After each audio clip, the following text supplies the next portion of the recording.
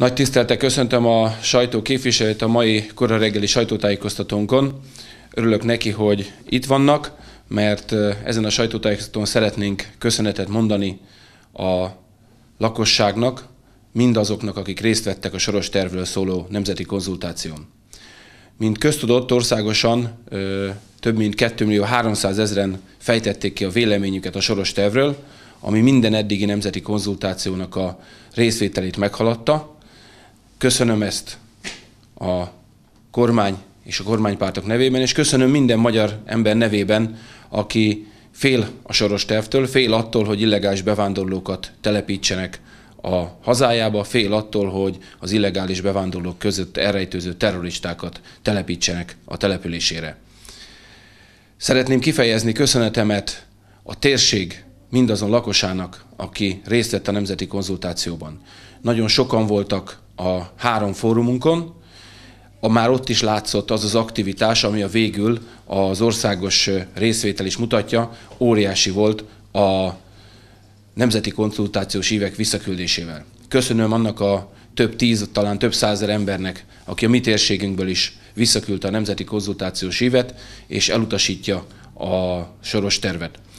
A kérdőívek feldolgozása még zajlik, de már a jelen állapot szerint is látszik, hogy az emberek nagy többsége, akik visszaküldték, elutasítják a soros tervet. Nem csoda, hiszen nem szeretnék, hogyha felsőkorlátok nélkül betelepítési kvótákkal embereket telepítenének, olyan embereket a akikről nem tudják, hogy kik, honnan érkeztek és milyen szándékkal érkeztek. És azt sem szeretnék, ami a soros terv egy konkrét lépése, hogy két év alatt 9 millió forintot adjanak személyenként az illegális bevándorlóknak az ő adójából. Hiszen nem azért dolgozik senki ebben az országban, hogy olyan embereket támogasson, aki akár még az életére is veszélyes lehet, mint terrorista.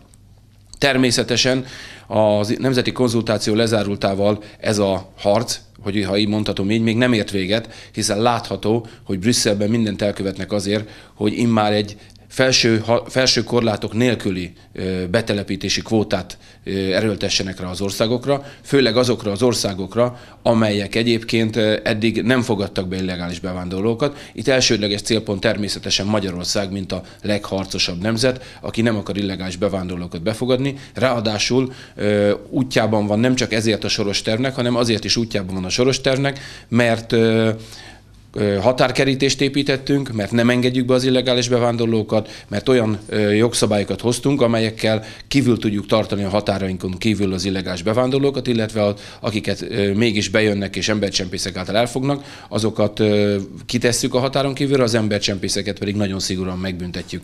Ez mind útjában van Soros György tervének. Soros György maga is beszállt a kampányba, jól látható ez, hiszen különböző nyilatkozatokat tett, illetve vidéken irodákat akar nyitni. Én bízom benne, hogy a térségünkben az önkormányzatok nem engedik azt, hogy mondjuk önkormányzati épületben működő NGO-k, különböző civil szervezetek azért kampányoljanak, hogy a soros terv révén az ő településekre is embereket telepítsenek be. Sajnos vannak ilyen települések Magyarországon, csak hogy említsem Szegedet vagy Budaörsöt, ahol ilyen civil szervezetekkel kötnek szerződéseket és hagyják, hogy működjenek.